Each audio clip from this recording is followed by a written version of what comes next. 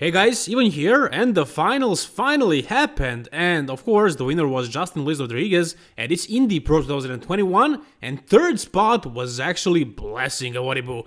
Take a look at him right here. What the hell happened between pre-judging and the finals? So in my previous video that I just posted, basically uh, an hour ago maybe, I said that he doesn't have the density, he, has, he doesn't have the thickness. And I said he's either too flat, not carved up enough, or just too small. And I know that he's working with Chad Nichols, so I don't know what kind of protocol Chad Nichols gave him, how much sugar did he intake between prejudging and, and, and, finals, but if you take a look at that video and all the videos and the photos that I posted in my previous video, you will see that he was nowhere near this thick, this big. So, Chad filled him up nicely, very, very nicely. He came up so much and he ended up in third. And you could make an argument that he deserved to be second. And even, I mean, I could even see him winning this show right now with this look. He looks so much bigger, so much bigger, not flat at all, really full. He filled up so much between the prejudging and the finals. This is crazy. I don't know if I ever saw this kind of transformation between prejudging and finals. This is ridiculous, guys. So now, after making that video saying that he might be out of top 4, might ending up at the 5th spot, him ending up at third seems like a good reward, but guys, remember, he was talking trash to Nick, to Nick Walker, and he was saying he's gonna win the New York Pro, and he can't even place in top 2 at the Indy Pro. But then again, if you take a look at the other angle, he cracked the top 3 at a pretty high professional level bodybuilding show at his pro debut. this is his pro debut, he never competed as a pro before. So if you take a look at it from that standpoint, it's a great success, but you know, considering the, the, the talk that he talked before, it's kind of disappointment. And the thing is, a lot of people bought into this whole hype about Blessing and him winning the New York Pro. You know, it's like Kevin Levrone coming back. Some people had him winning the show, winning the Mr. Olympia. And it's kind of the same thing right now. It's a hype train, and a lot of people jump into it. And now it's kind of disappointing because of that. But realistically, for the pro debut, third spot at Indy Pro, it's actually pretty good result. But then again, I go back and I say, you gotta admit, this is not exactly a top tier show. I mean, who are these guys? Who are the who are the guys that took second and fourth and fifth?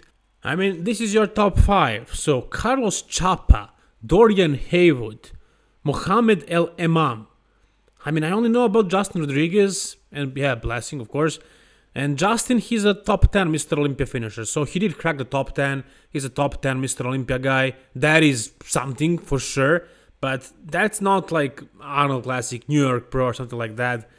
It's Indy Pro. It's Indy Pro, guys. And the other guys, I mean, maybe I'm not too, big of a fan to know all these names, but honestly, I didn't know about the, the other guys that cracked that top five aside from these two. And I expected Morgan Est or Morgan Esti. Correct me if I'm wrong with the pronunciation, but I expected him to be in the top five because he did look really impressive. He was shredded to the bone, but I guess the structure of the other guys prevailed. I mean, he does have pretty bad structure, but he has so much muscle. He's the strongest bodybuilder in the world. He's extremely strong and he can get conditioned. But one thing he will never be able to change is the structure. That's something you're born with and it is the way it is.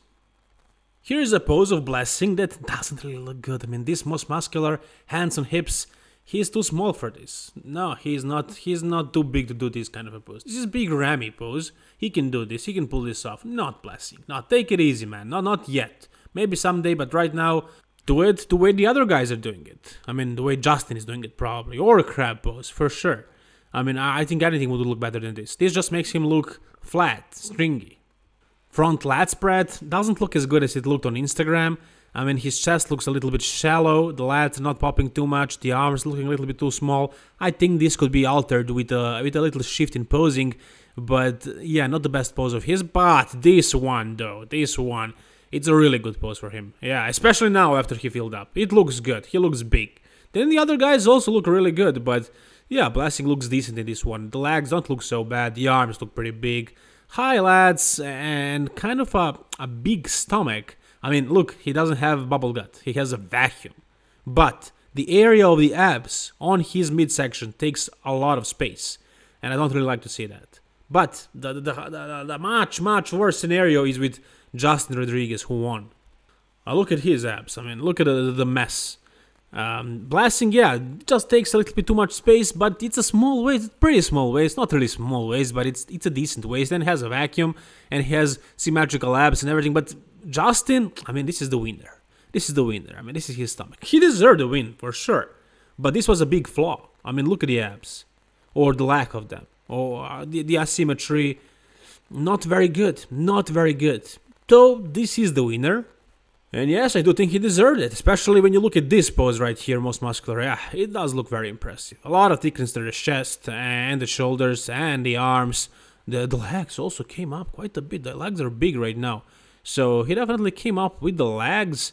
And I think he also filled up quite nicely because he also does look more impressive in the in the upper body. So overall, he looks good. He looks good. I don't know how will he do at the New York Pro. Probably top three, most likely. I don't think he's gonna be out of top three, but any spot of those top three spots is available for him, in my opinion. Whatever you guys think, tell me down below in the comment section. Like this video if you enjoyed it, and for more videos like this, subscribe to this channel. All the best, guys, and bye bye.